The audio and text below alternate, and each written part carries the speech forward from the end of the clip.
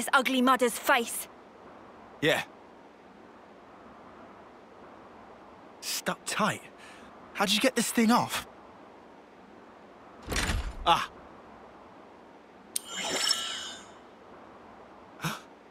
this guy... He's so different from us. Is this what consuls look like? All wrinkled. Just like Guernica. Is this what aging's like? I don't know.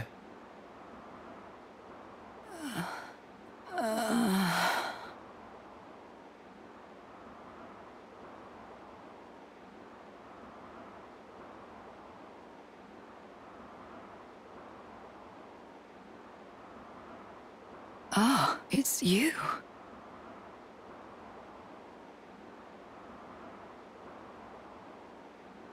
I see. I'm so sorry. All I remember is that I was fighting against some abhorrent creatures. And you tell me it was you.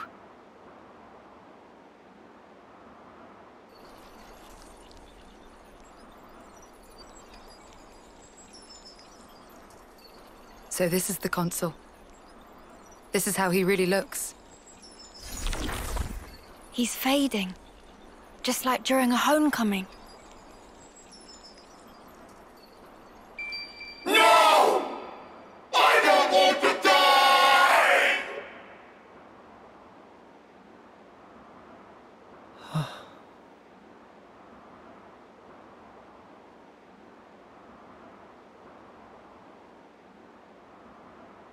Nope, no way. You're not sending him on.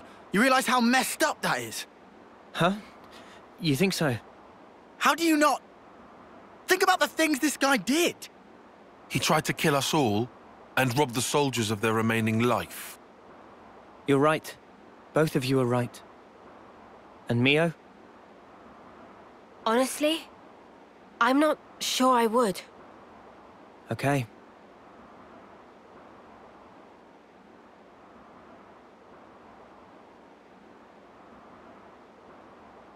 Oh, I'll just do it anyway. Just now, I felt his essence brush past me. It felt just the same as ours. So, I feel I have to do this, you know? Mio, have you ever touched a mote of light from a Kavesi? They're the same as ours. On the other side, the people live hoping the same things as us.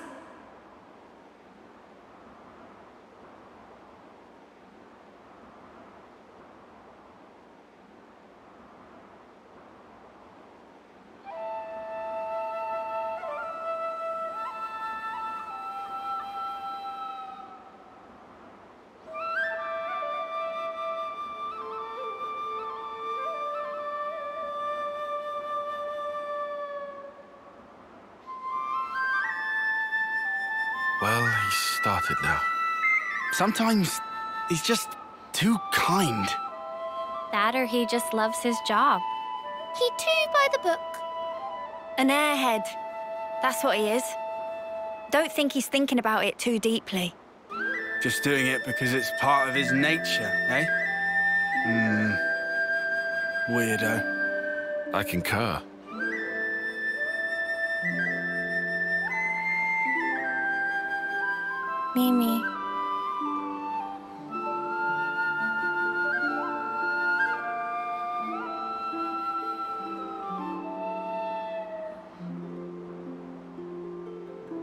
Sorry.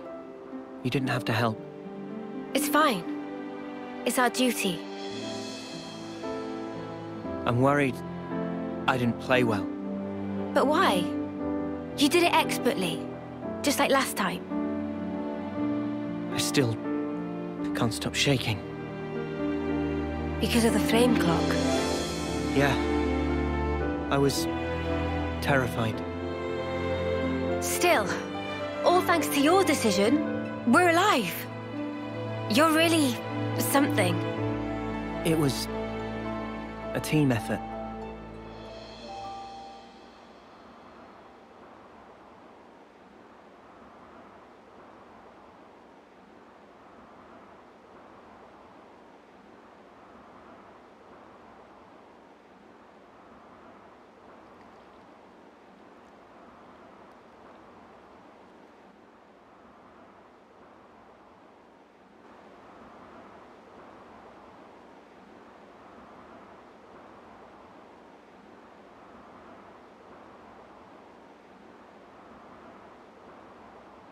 Commander!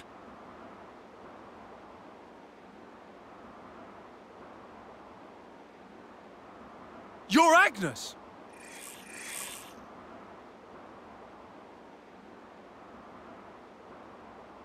Lower your weapons, Boliaris. Come again? I'll explain everything to you later. Please, Boliaris. Uh, sure.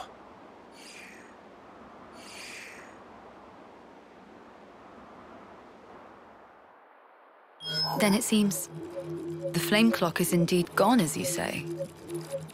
And yet, I'm seeing nothing of these symbols you speak of. It seems evident you possess something that we do not have. I see. Sorry for getting you involved. No need to apologize. Exceptional as this is, I consider it a blessing to be freed from constant battle. Glad to hear you say that. I was pretty worried. Are you sure it's okay for us to be hanging around here? My troops are under strict orders. It's true you three are affiliated with Agnes, but we also owe you our lives. We should count our blessings, no?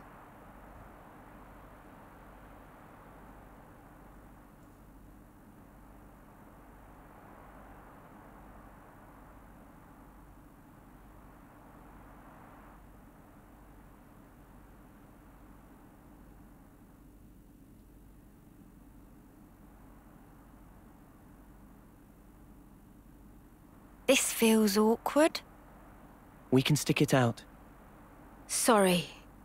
This is kind of our fault. Don't worry about it. You heard Ethel, right? Hmm.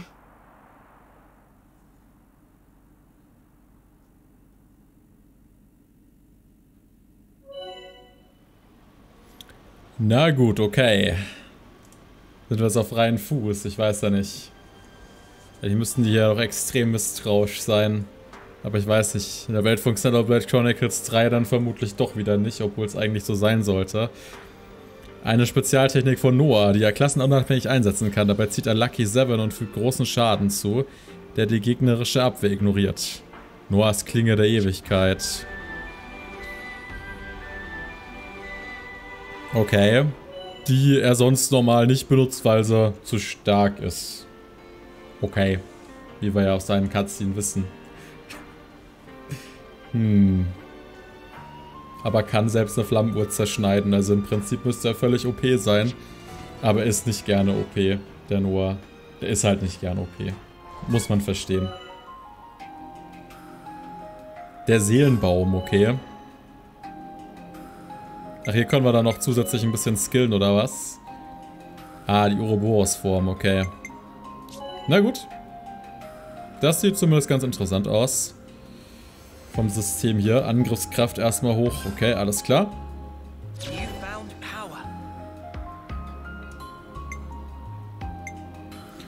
Okay, also wir haben verschiedene Pfade, sowas mag ich ja prinzipiell. Da kann man dann wieder sich schön spezialisieren mit der Zeit. Ach so, abgeschlossen 2% kann man auch einfach alles lernen. Hm. Gut, dann weiß ich nicht, inwiefern ich das System noch mag. ich finde es eigentlich cooler, wenn du tatsächlich irgendwie einen bestimmten Pfad folgst. Von mir aus kann man es aber so machen, dass man es zurücksetzen kann über, keine Ahnung, Item, irgendeinen Charakter etc. Wenn du eh alles lernen kannst, ist sowas immer so ein bisschen vom, ja, es, es nimmt die Individualisierung aus einem Run in dem Sinne etwas raus, ne? Okay, ausgeteilten Schaden erhöht, wenn ein Gefährte kampfunfähig ist oder kritische KP hat. Crit Rate nach oben schrauben. Ja, bei Crit gegnerische Abwehr noch ignorieren, gefällt mir.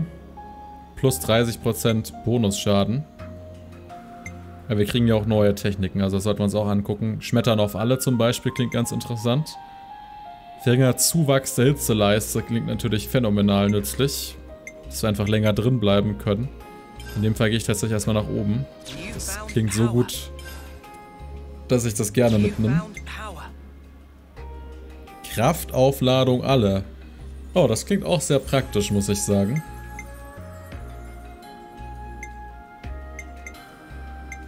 Hm, das gute alte Optimieren. Je voller Hitze leistet, desto mehr Schaden wird zugefügt. Auch ganz interessant zumindest. Was sind denn so die Endtalente hier? Hitzeausgleich, verringert den Zuwachs der Hitzeleiste auch weiter. Ja, ist vielleicht am sinnvollsten, dass wir da drauf gehen, aber wir sind in der Zeit auch unverwundbar. Also ich glaube fast, dass wir die Hitzeleiste optimieren, ist somit das Beste, was wir machen können. Dann würde ich tatsächlich erstmal voll in die Richtung hier gehen. Weil da scheinen wir erstmal am meisten Hitzeleiste optimieren zu können. Und wenn wir eh alles mitnehmen können, früher oder später, dann soll mir das auch recht sein. Aber ich kann auch wirklich gleich so... Okay, das ist interessant. Das kostet allerdings 150. Allerdings, wie gesagt, ich versuche die Hitzeleiste zu optimieren. Na gut, okay. Alles klar.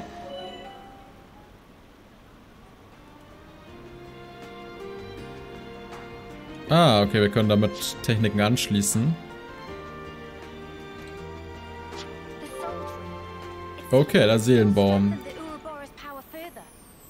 Jetzt sind wir also in Kolonie 4 unterwegs. Na, hoffentlich sind die Leute auch ordentlich misstrauisch. Also ich hatte das schon angesprochen im letzten Part, Leute. Dass ich natürlich auch eine gewisse Kritik habe. Und die Kritik hier im Spiel ist wirklich bisher, dass Xenoblade Chronicles 3, also so gut wie mir der Cast gefällt. Ja, ich mag die Charaktere wirklich sehr gerne, muss ich sagen. Die fühlen sich für mich wirklich sehr gut an. Also man hat da, glaube ich, eine ganz gute Mitte einfach gefunden. So zwischen den ja, Charakteren aus XT1 und XT2 ist, glaube ich, ein gesunder Mix irgendwie. Also je nach, also einfach nur von der Charakterisierung an sich, wie die porträtiert sind. Ähm, der XT1 ist ja sehr ernst, das XT2 ist aber halt super Anime wiederum, muss man sagen, ne? Das hier fühlt sich tatsächlich ein bisschen wie dazwischen an, aber was ich halt gar nicht mag, ist, dass es wirklich man sehr viele Klischees aufgreift, extrem viel Plot-Convenience und es tatsächlich von der reinen Narrative bis jetzt noch das schlechteste Xenoblade Chronicles ist. Muss ich einfach sagen. Gameplay-technisch ist es allerdings bisher wirklich super interessant. Macht wirklich Laune. Es fügt sich alles gut zusammen, selbst bei Elementen, wo man ein bisschen skeptisch erstmal ist merkt man dann doch, ach ja doch, das klappt eigentlich ganz gut und es wird nicht zu kompliziert bisher. Bisher eigentlich alles ganz, ganz gut, was das betrifft. Also tatsächlich gameplay-technisch finde ich es eigentlich ein ganz starkes Xenoblade bisher, bis aufs Handholding. Das Handholding ist eines der grausamsten, was ich je in einem Videospiel erlebt habe teilweise, muss ich sagen.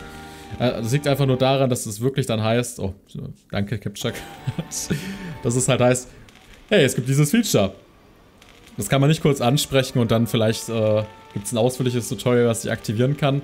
Nein, ich muss dann durch die, durch die Menüs durch. Hier, guck mal, du kannst hier klicken und da klicken und jetzt musst du noch hier klicken und dann machst du bitte noch das und jetzt äh, ist der Prozess abgeschlossen. Okay, dem Spieler alles erklärt. To-Do-Liste check. Fertig. Naja, hm. ich sag mal so, also ich bin ja jemand, der selbst auch äh, Benutzeroberflächen entwickelt, ja. Äh, und eine User Experience optimieren muss. Und ein gutes User Interface musst du nicht großartig erklären. Das funktioniert an sich. Das funktioniert nämlich auf Basis von Gewohnheit und aufgrund ja, logischer Anordnungen, ne? Strukturen, die das menschliche Gehirn einfach sinnvoll zuordnen kann, so oder so. Ich brauche gar nicht übermäßig erklären. Also bei Tutorials ist das einfach genauso. Ich, ich ich habe ja auch wirklich an sich gute Benutzeroberflächen im Spiel. Ich muss nicht alles haargenau, also bis ins kleinste Detail erklärt bekommen. Das reicht, dem Spieler das kurz zu zeigen. Ich weiß genau, Black Chronicles 2 hat ein bisschen den Ruf, dass es untererklärt ist. Aber das hier ist wiederum übererklärt. Die müssen auch die Mitte finden. Also ist auch nicht super schlimm. Vor allem, weil ich schon gelesen habe, im New Game Plus fällt es zum Beispiel weg. Das wäre tatsächlich eine Katastrophe, wenn es im New Game Plus noch so wäre. Also, sehr, sehr gut. Ähm, dass man wenigstens darauf geachtet hat anscheinend dann. Aber nichtsdestotrotz, das macht bisher viel Spaß. Ich weiß, das ist immer so, oh, jetzt wird das Spiel gehatet oder was. Nein, ganz und gar nicht. Aber man muss halt nun mal kritisch sein, trotz allem. Ich weiß, manche wollen das einfach nicht hören und ja, ich kann es auch nachvollziehen. Aber ein LP ist halt nicht nur reines Gameplay, sondern man hat halt gegebenenfalls auch noch eine eigene Meinung dazu, die man unterbringen möchte. Und in dem Fall ist das halt wirklich so einfach als Person, eine Person, die halt wirklich viele RPGs gespielt hat. Ich, ich führe da sogar inzwischen eine Excel-Tabelle und ich habe halt wirklich sehr, sehr viele JRPGs gespielt und sehr, sehr viele auch auf 100% gespielt. Und habe da, glaube ich, einen ganz guten Überblick einfach über was, was man gut machen kann und was man schlecht machen kann. Und ja, also bisher insgesamt ne, ist das immer noch mindestens im grundsoliden, also echt guten Bereich, ja, das Ganze. Aber es stört mich doch einiges, weil ich einfach die Brillanz eines Xenoblade Chronicles 1 und 2 sehe und mir denke, liebes Xenoblade Chronicles 3, du kannst bisher noch nicht so ganz daran anknüpfen trotzdem, ja. Du hast super interessant angefangen, hast dann aber doch einiges vom Bord geschmissen relativ schnell, was dich interessant gemacht hat. Aber nichtsdestotrotz ist das Interessanteste in Xenoblade Chronicles 3 nach wie vor, wie jetzt alles zusammenhängt. Natürlich, also die Verbindung zu Xenoblade Chronicles 1 und 2 ist, das ist so das, wo man wirklich sagen muss, ja, das ist super interessant eigentlich. Gleichzeitig aber fast ein bisschen traurig, dass das gerade jetzt aktuell das interessanteste Element ist, ne? Ich weiß nicht. ja, das vorhin, das war halt, also das davor jetzt das reine Plot-Convenience, ne? Da kommen natürlich jetzt ganz genau diese ganzen Verwandlungen genau in der Szene und dann kommt noch das, das Plot-Schwert, was die Plot-Armor durchdringen kann. Selbstverständlich. Und das, das wurde ja auch unmittelbar davor eingeführt. Das ist ja auch sowas, ne? Wenn, wenn du einfach die zeitliche Reihenfolge betrachtest wirkt das halt sehr konstruiert. Wenn das jetzt ein Element ist, das irgendwie sehr früh schon involviert ist, dann ist das ja okay. Aber, naja, vor allem muss man sich jetzt wahrscheinlich auch immer die Frage stellen, wann wird es Situationen geben, wo dieses Schwert gar nicht zum Einsatz kommt, aber es wahrscheinlich eine super Lösung gewesen wäre. Weil dieses Schwert existiert und das ist ein Problem. Es ist ungefähr wie in einem Videospiel existiert Teleportation. Kann auch ein großes Problem sein tatsächlich, wenn es im Plot irgendwo eingesetzt wird. Aber dann irgendwie auf einmal verschwindet, wo es halt auch super sinnvoll wäre. Man muss halt immer alles auf dem Schirm haben. Ne? Wenn ich, äh, also gutes Writing versucht auch wirklich alles einzubeziehen, was man bisher gesehen hat. Und muss auch so funktionieren, dass möglichst alles gut erklärbar ist. Ne? Das leistet sich da keine Schwächen dahingehend. Und ich werde dieses Schwert nicht vergessen, ja. Wenn, wenn ich sehe dann irgendwo, es kommt zu einer Situation, wo man auch einfach hätte sagen können, du hättest mal das Schwert benutzt. Ich, ich werde es ich ansprechen, ja. Das werde ich mir merken. Und man mag das jetzt als kleinlich abtun, okay? Aber es ist nun mal, es ist nun mal ein Rollenspiel und ein Rollenspiel muss von einer guten Geschichte leben und ich erwarte eine gewisse Plaus Plausibilität dahinter. Und wie gesagt, also Xenoblade Chronicles 1 und 2 sind brillante Spiele. Eigentlich tatsächlich auch sehr unterschiedlich letztendlich von ihrer Art und Weise. Also auch wie die Welt, Welten aufgebaut sind und so. Eigentlich tatsächlich sehr konträr in mancherlei Belange, aber trotzdem funktionieren beide so herausragend. Also die erzählen wirklich wunderbare Geschichten. Ähm, klar, es gibt auch viele Personen, die mögen bestimmte Aspekte aus diesen Titeln genauso wenig. Für mich ist Xenoblade Chronicles halt immer diese Brillanz, also das ist für mich wirklich eine eine Immersion, die da auch entsteht. Und ist, ich finde Xenoblade steht immer sehr für sich, also ich kenne wie gesagt sehr viele JRPGs und was so die Entwicklung eines Plots betrifft und wie die Inszenierung vor allem drumherum ist, finde ich, waren die Xenoblade Chronicles 1 und 2 wirklich herausragende RPGs, die wirklich die Messlatte auch sehr weit oben ansetzen. Zumindest heutzutage, muss man sagen.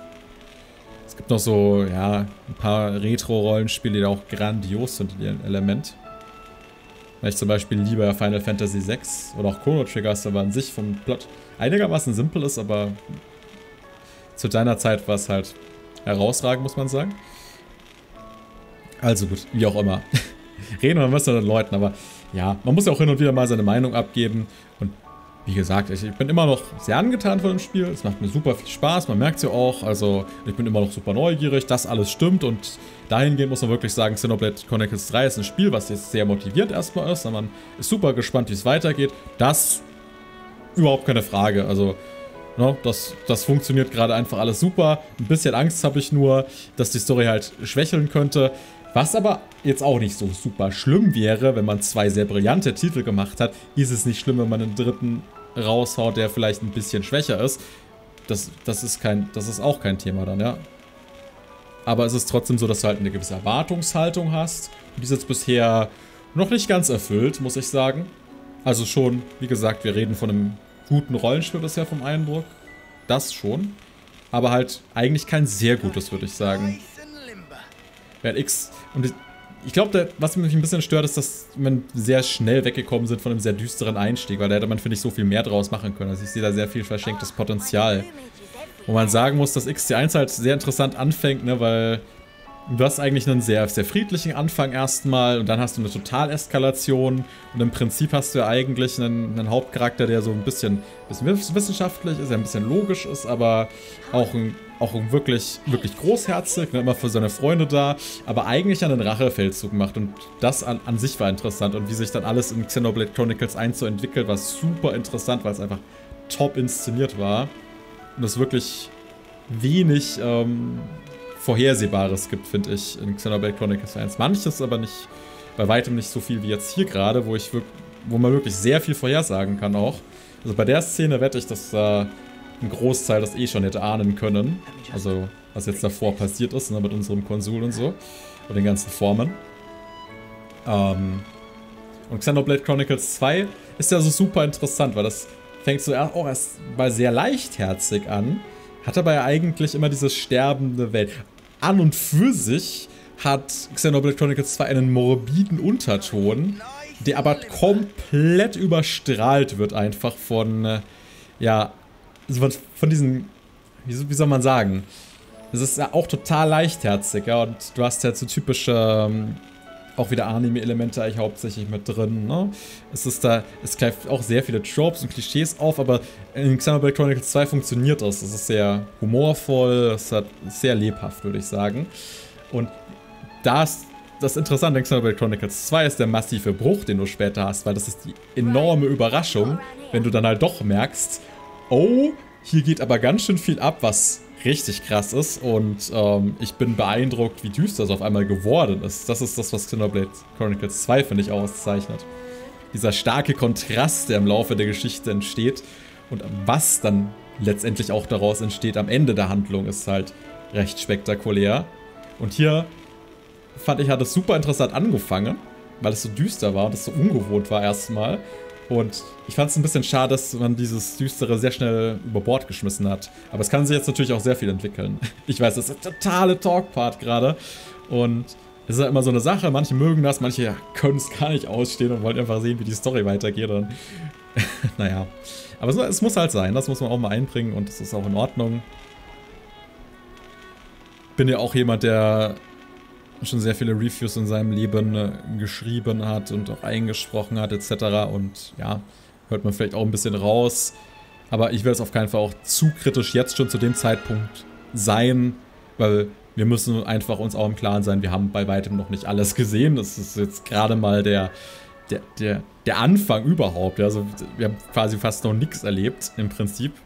Und das muss man auch einfach mal sagen. Ne? Also insofern auch mal ein bisschen vielleicht... Oh, einfach genießen. Ist auch wichtig. Nicht, dass man jetzt denkt, ja toll, jetzt hat er im Prinzip schon das halbe Spiel abgeschrieben. Der weiß doch noch gar nicht, was später noch krasses abgeht und, aber wie gesagt, auch nicht spoilern, das habe ich ganz am Anfang schon erwähnt. Ist auch super wichtig. Na, ist das, dass die Leute kommen, du, später passiert doch das und das und das und das und das und das, bleib dran. Danke. okay, jetzt sollten wir vielleicht wirklich mit den Leuten reden. Ja. Sorry oder ich weiß nicht ob ein Sorry angebracht ist. also es tut mir schon ein bisschen leid für die, die das nicht hören wollen oder so, aber ja. No. Gut. Die Kommandeurin hat uns befohlen, euch in Frieden zu lassen. Und das, obwohl ihr Agnier seid und kevessische Überläufer. Na gut, ein bisschen Misstrauen finde ich in dem Fall halt ganz gut. Und das ist auch sehr wichtig, dass die Leute so reagieren. Gebt mir einfach viel Glaubwürdigkeit und ich bin eigentlich ganz zufrieden. So einfach ist das. Hm. Lefnisse haben eine sehr begrenzte Reichweite. Selbst wenn man eine volle Ladung Ätherzylinder mitnimmt. Der Treibstoff geht trotzdem aus, bevor man die nächste Region erreicht. Mit einem Ferron sähe das anders aus. Ah ja, okay. Wird auch immer sehr begrenzt nutzbar irgendwie. Kommandeurin Ethel ist aufgeschlossen und vorurteilsfrei. Kein Wunder, dass die Agni als gleichwertig betrachtet. Aber wir gemeinen Soldaten brauchen wir etwas mehr Zeit, um uns an diese neue Situation zu gewöhnen. Na klar, das wäre auch komisch, wenn es anders wäre. Was für eine Überraschung. Ich wusste gar nicht, dass Flammenuhren zerstört werden können. Ich habe schon viele Experimente an der unseren auf ausgeführt und sie ist nie kaputt gegangen. Faszinierend. Du hast schon selbst versucht, das Ding zu zerstören? Hätte ich dir gar nicht zugetraut. Ja, aber ich meine, mit der Klinge zum Beispiel konnte jetzt nur einfach so zücken, ne? Dann kann man jetzt zum Beispiel schon mal die Frage stellen, ja, warum hast du es nicht beim ersten Möbius gemacht? Also, ne? Weil das wäre vielleicht auch eine Antwort gewesen. Hat er einfach nicht dran gedacht. Das kann man dann auch so abtun, weiß ich aber nicht. Ob man da wirklich dann in so einer Situation einfach nicht dran denkt. Dann will er alle seine Möglichkeiten ausschöpfen. Bam Bam wäre vorhin fast von super starken Hasid verkloppt worden. Sah auf ersten Blick aus wie normales, niedliches Hase, dabei innen drin offenbar mehr Muskeln als erlaubt. Naja, haben wir einen besonderen Gegner vielleicht irgendwo. Ha?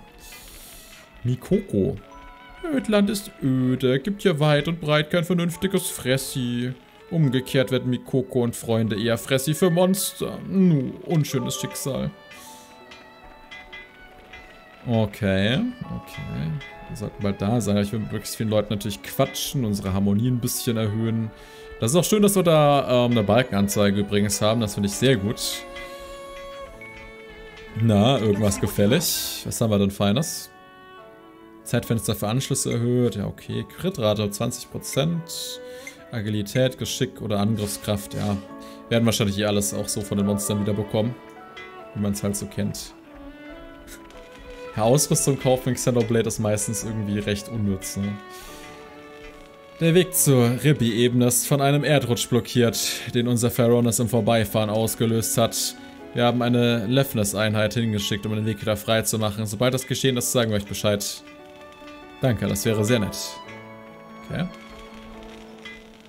Ah, okay, wir sind schon da.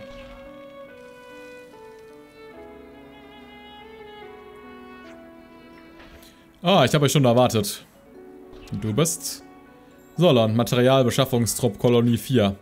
Ich habe auf Anweisung der Kommandeurin ein Zelt für euch vorbereitet. Fühlt euch hier ganz wie zu Hause. Vielen Dank. Die Kommandeurin hat uns erzählt, was ihr für uns getan habt. Wir alle sind euch großen Dank schuldig. Ich werde wohl keine Gelegenheit haben, euch hier zu besuchen, also bitte meldet euch, wenn ihr noch irgendwas braucht. Auf Wiedersehen.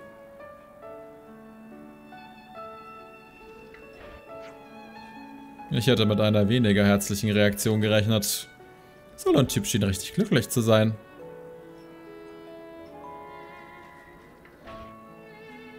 Ja, ich meine, die sind auch der Dreckrang gewesen, muss man sagen. Also, die hatten jetzt auch nicht das lebenswerteste Leben so oder so wahrscheinlich bisher. Okay. Das ist halt für die eh fragwürdig gewesen, wie viel Ruhm sie hätten erlangen können. Ich glaube, es wäre bei einer Kolonie mit viel höherem Rang wahrscheinlich auch schwerer, die zu überzeugen dann. Ich würde am liebsten vorher noch ein Bad nehmen. Oinilein, wenn du ein Bad nehmen... Könntest du mich bitte nicht Oinilein nennen? Bleiben wir doch bei einfach nur Oin, ja? oje, oje. Na gut. Bisschen zanken können die sich schon hin und wieder auch mal. The consul we fought back there. Uh-huh. Oddly, he was strikingly similar to our own consul. Both sides are gonna have consuls. Why is that odd? More accurately, not just similar, they're the same. They're the same. Are they really? Our colonies regard each other as enemies. But if the consuls giving the orders are the same, it means... It means? Hmm. Come on. Just spit it out, man. A consul's such a big deal. I thought they were everywhere, like your run-of-the-mill Nopon. Riku refused to let remark of Uni slide. Got that right? Nopon, a rare species world cannot live without. Protect at all cost. Uh, leaving Napon out of this? What's this mean? That these guys are mega suspicious? Yes. I suspect they may be more deeply involved than we thought. Involved how, though? With what? With the reason why we fight. With deciding our fate. Our fate.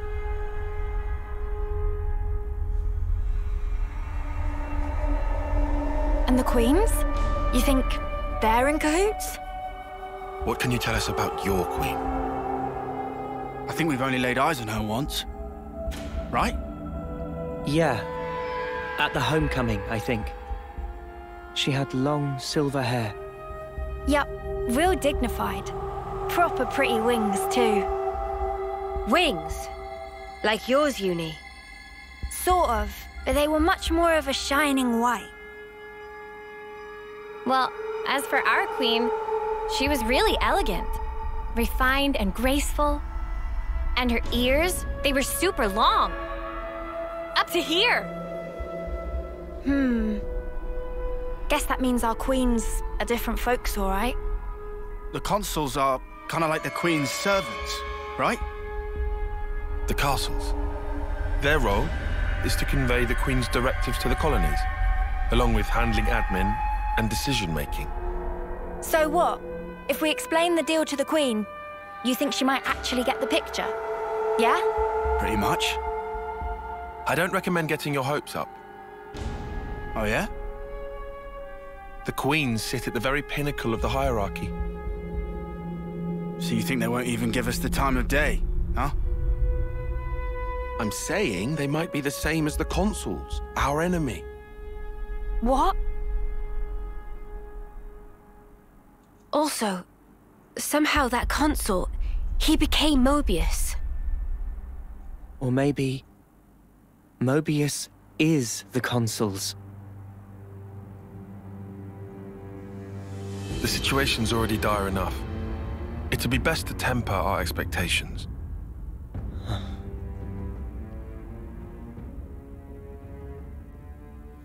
Nun zumindest ist die Hierarchie da schon ganz interessant, muss man sagen, wiederum. Natürlich möchte man da wieder mehr erfahren. Ja, die an der Spitze. Warum handeln die, wie sie handeln? Es muss ja mehr dahinter stecken. Ah, hier sind wieder beide Flammenuhren zu sehen anscheinend. Is that so? Colony 4.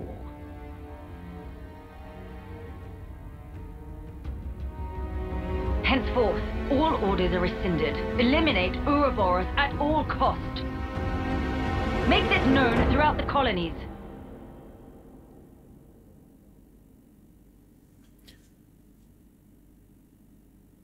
Ouroboros has no place in this world. Their existence must be erased without a trace. Hm, das klang sehr verdächtig nach äh, Nias Voice Actress, oder? Sah ja auch ziemlich so aus, ja? die Gestalt. Könnte schon hinkommen, interessant. Nun, das macht das Ganze nur verwirrender, hm, muss man ganz klar sagen. We've endured the fierce fighting at Colony 4. And learned that the consuls and Mobius are one and the same. Truths we took for granted continue to crumble at our feet. We have spent so long, blindly walking the path set before us without question. But we are more curious now, of our future selves, of our purpose.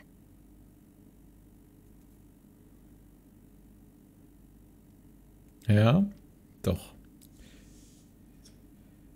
Das äh, könnte noch sehr interessant werden, zumindest.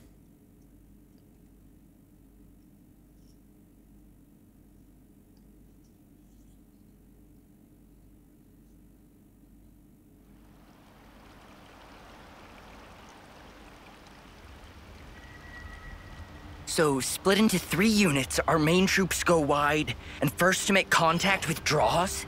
What are you, a coward? What was that? Huh? I asked you what you said. You think I'm scared, is that it? I'll have you know my plan is textbook. Drop it, Tyon. Let go!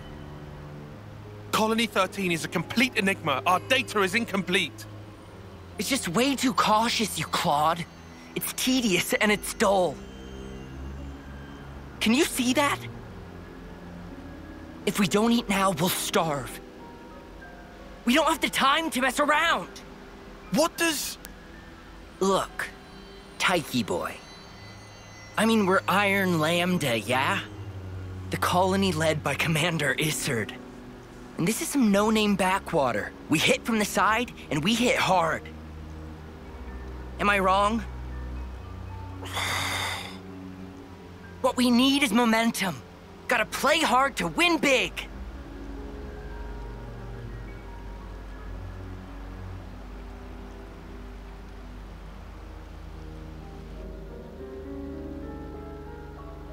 Right, I see. One team draws the sentries away, then the main force can strike en masse, where the flank will be left loosely defended. Seems optimal. Is that right, Tyon? Huh? Yes. Correct.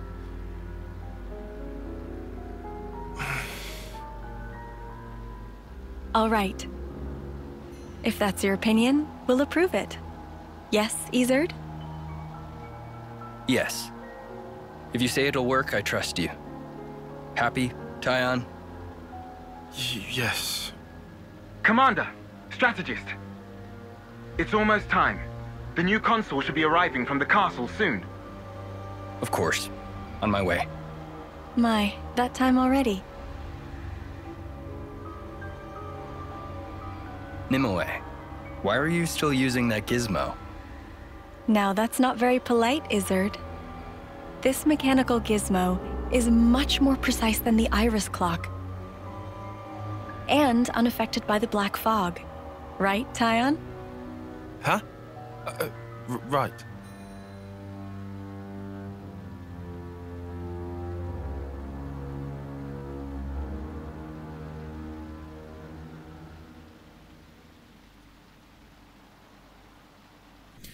Wieder viele neue Gesichter diesmal. Bisschen Background zu Tyon ist auch interessant.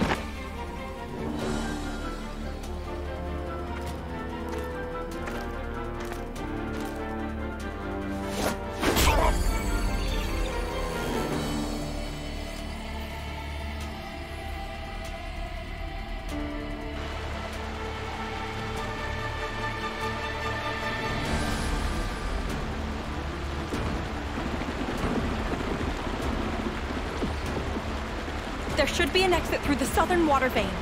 Head straight for that. And you, ma'am? We'll hold the line here, keep them occupied. Begging your pardon, that's idiocy and certain death. Tyon, You can't. you all still have a future. Until the day of your homecoming, please just live. And here,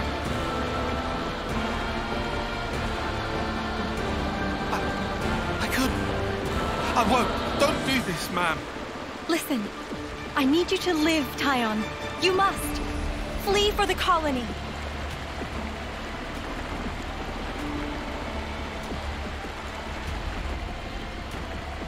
Tyon, get moving! Hurry! How? How can I? Tyon!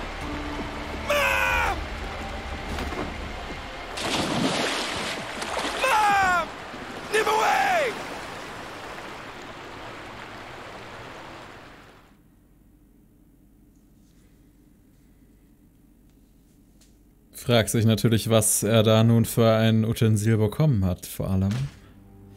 Shouldn't have put so much stock in your irises, Kay. That is what you get. It's just bad luck. The plan was sound.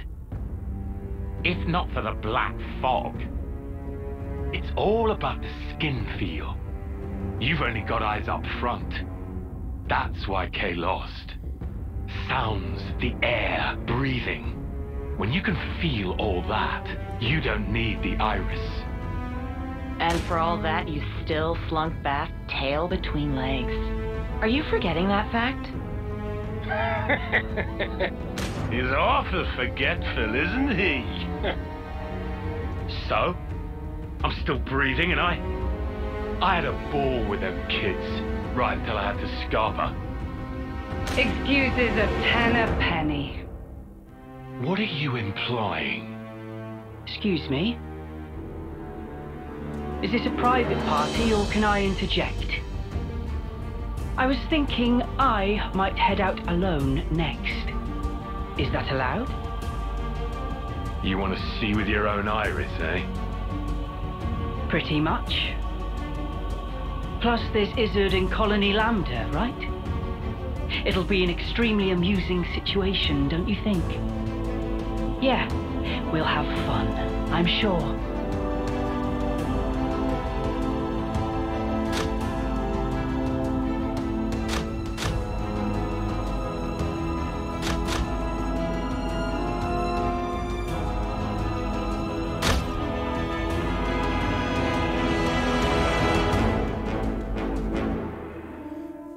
Die bleiben zwar mysteriös, aber schon irgendwie auch, ich weiß nicht. Ist alles irgendwie so theatermäßig inszeniert wie ein äh, Bühnenstück, ne? Ihnen geht es anscheinend um Spaß. Das ist irgendwie bizarr, aber mal gucken, was dahinter steckt dann letztendlich. Ob sie doch noch ein bisschen komplexer sind, als man jetzt momentan sich so denkt. Schönen guten Morgen, Pon. Morgen, Manana. Damit werden wir wohl alle bereit. Ich habe eben eine Nachricht von Ethel erhalten. Sie möchte etwas mit uns besprechen. Wir sollen in den Besprechungsraum kommen. Dann sollten wir ihrer bitte Folge leisten. Wir müssen ja auch noch für das Zelt und alles danken. Okay, schauen wir mal bei ihr vorbei.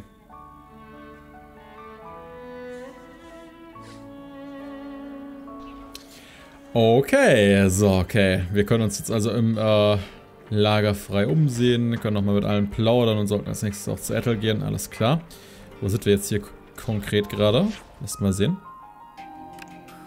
Ah ja, wir haben wahrscheinlich eine ordentliche Übersicht. Ups. Ich gleich wieder raustappen hier. Und anscheinend auch neue Quests. Okay, also ist jetzt bald der Süden frei, wie es aussieht. Sehr schön. Okay, ah ja, hier können wir auch noch diesen einen Kanal untersuchen. Wir können hier anscheinend direkt die Tageszeit auch auswählen. Guck mal, das finde ich eigentlich auch ganz cool. Ja, Convenience Features hat das Spiel wirklich einige bekommen. Da sind schon schöne Verbesserungen drin, muss man sagen. Das auf jeden Fall. Na gut, dann werden wir in Kolonie 4 wahrscheinlich noch das eine oder andere zu tun haben. Denke ich mal. Ob wir ein paar Nebenquests mal wieder zu erledigen haben. Ist schon eine Weile her, nämlich, dass wir das, äh, ja, ich weiß gar nicht, wann hatten wir die letzte Nebenquest? Das war noch in Kolonie 9, oder? Also das andere ist jetzt nur die Händlerkarawane nämlich, aber das ist ja so eine fortlaufende Quest, die irgendwann wahrscheinlich gegen Ende des Spiels abgeschlossen wird, nehme ich mal an. Aber gut. Ja, Leute, ich würde sagen, bis zum nächsten Part. Ne? Bis dahin.